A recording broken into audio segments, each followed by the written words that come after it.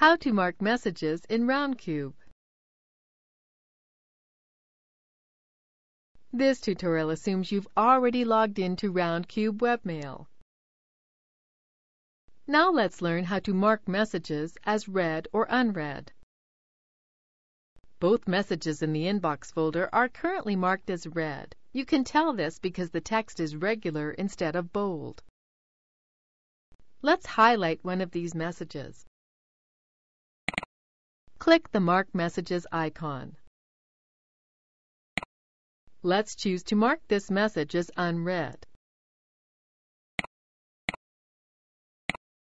The message is now marked as unread, since its text is bold, and our inbox shows one message as being unread.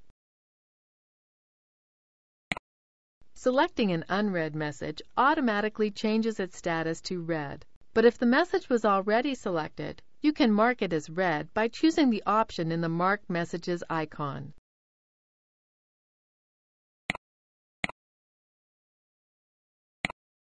This is the end of the tutorial. You now know how to mark messages as read or unread in RoundCube. Thank you for watching this tutorial. Be sure to let us know if you have any questions.